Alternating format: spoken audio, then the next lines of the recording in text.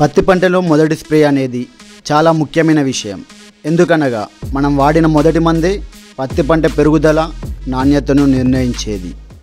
అది ఎలాగంటే సాధారణంగా పత్తిలో మొదటి స్ప్రే అనేది రసం పీల్చే పురుగుల కోసమే చేయాల్సి వస్తుంది. మీరు ఎంచుకున్న కొన్ని మందులు పంట ప్రారంభ దశలో పత్తిని ఆశించి నష్టపరిచే రసం పీల్చే పురుగులని కట్టడి చేయకుండా వాటి అభివృద్ధికి ఉపయోగపడతాయి. అలాగే రసాయన పురుగు మందుల వల్ల లేత మొక్కలు బలహీనం అవుతాయి. దీనివల్ల పంట ప్రారంభ దశ నుండే మొక్కల్లో సరైన ఎదుగుదల లేక పూత కాత సరిగ్గా ఆగక దిగుబడిని గణనీయంగా తగ్గిస్తాయి.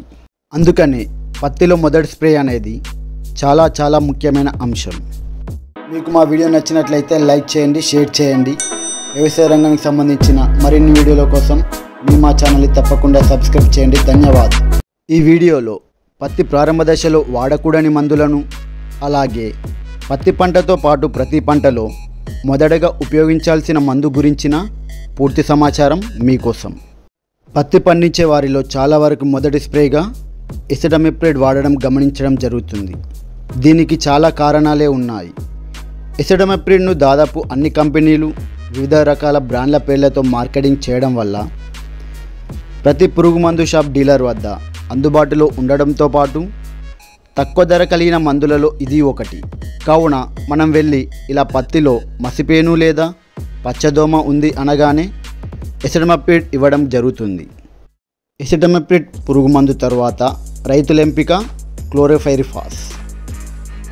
ఇది రసం పీల్చే పురుగులతో పాటు లద్దె పురుగు శనగపచ్చ పురుగుల కోసం సిఫార్సు చేయడం జరిగింది. కొన్ని కంపెనీలు అయితే పత్తి పంట కోసమే ఈ పురుగు మందును సిఫార్సు చేస్తూ పురుగు మందు డబ్బాలపై పత్తి పంట ఫోటోను గమనించవచ్చు. ఈ రెండు మందుల తర్వాత ఎక్కువగా స్ప్రే చేసే మందు ప్రొఫినోఫాస్ అలాగే ఇమిడాక్లోప్రిడ్. ఇవి కాకుండా కొంతమంది రైతులు బైఫెంత్రిన్ అలాగే సైపర్మెంథిన్ వంటి పైరిథాయిడ్ గ్రూపుకు సంబంధించిన మందులు వాడడం వలన ఇవి పురుగులని కట్టడి చేసినప్పటికీ వీటి యొక్క ఫైటోటానిక్ గుణం వల్ల ఆకులు ముదురు ఆకుపచ్చ రంగులోకి మారి చీడ పురుగుల ఆకర్షణకు గురై పురుగుల ఉధృతికి కారణమవుతాయి. ఇలా లేత మొక్కలు చీడ పురుగుల వల్ల బలహీనంగా మారి తెగుళ్ళకి తొందరగా లోనవుతాయి. కావున పత్తి పంటలో మొదటి స్ప్రేని రసాయన పురుగు మందులు కాకుండా కేవలం పురుగు మందుగానే కాకుండా తెగుళ్ళ మందుతో పాటు ప్రతికూల వాతావరణం అనగా వర్షాభావ పరిస్థితుల వల్ల మొక్కల్లో కలిగే ఒత్తిడిని తట్టుకునే శక్తిని కలిగిన బయోమందు అయిన వేప నూనెను వాడడం వల్ల చాలా ఉపయోగాలున్నాయి.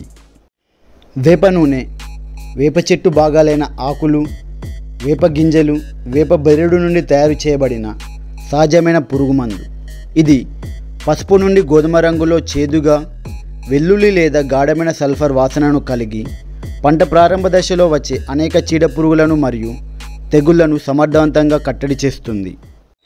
వేప నూనె సిస్టమిక్ మరియు కాంటాక్ట్ చర్యల ద్వారా పురుగులను చంపుతుంది. అలాగే ఇందులో ఉండే అజాడిరెక్టన్ పురుగుల తినడం ప్రక్రియను ఆపేసి దీని గాఢమైన వాసన మొక్కలను పురుగులు ఆశించకుండా వికర్షణకు గురి చేస్తాయి. ఈ వేప నూనెను వారం రోజుల వ్యవధిలలో రెండుసార్లు వాడడం వల్ల మంచి ఫలితాలను పొందవచ్చు.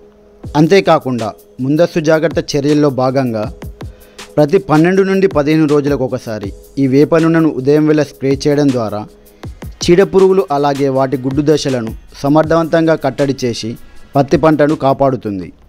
మీకు మా వీడియో నచ్చింది అనుకుంటున్నాము. ఇప్పటికీ మీరు మా ఛానల్ని సబ్స్క్రైబ్ చేయకుంటే సబ్స్క్రైబ్ చేయండి మీ ఫ్రెండ్స్కి షేర్ చేయండి. ధన్యవాద్. పత్తి పంటకు సంబంధించిన పూర్తి వివరాలు అనగా ఎప్పుడు ఏ పురుగు మందు వాడాలి ఏ తెగుళ్ళ మందు వాడాలి ఏ ఏ ఎరువులు వాడాలి అనే సమాచారం కోసం వీడియోను లైక్ మీ ఫ్రెండ్స్కి షేర్. అలాగే ఛానల్ని తప్పకుండా సబ్స్క్రైబ్ చేయండి. ధన్యవాద్.